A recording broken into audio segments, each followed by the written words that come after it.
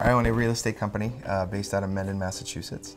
We are a uh, 18 agent strong real estate company helping buyers and sellers. It takes a lot to run a real estate company. It takes patience, it takes understanding your agent's needs as well as your client's needs all at the same time. Charles River Bank um, came into our lives at a time where we were still very young as a company.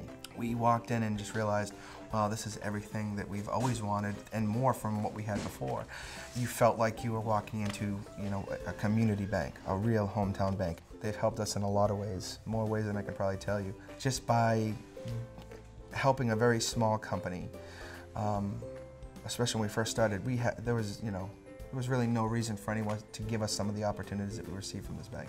It's really helped us grow our company to a level that we wouldn't have been able to do it without them. They just always, always, always, always help you and put you in the right direction. Um, I mean, we have clients that are out of state, out of country, and they need to send in wires and you know, it can be a process and it's not like Josh said, it's not calling an 800 number. There's always someone to walk you through the process. There's always someone to show you this is how you need to do it or this is how it has to be and it, it gets done and you don't have to worry about it.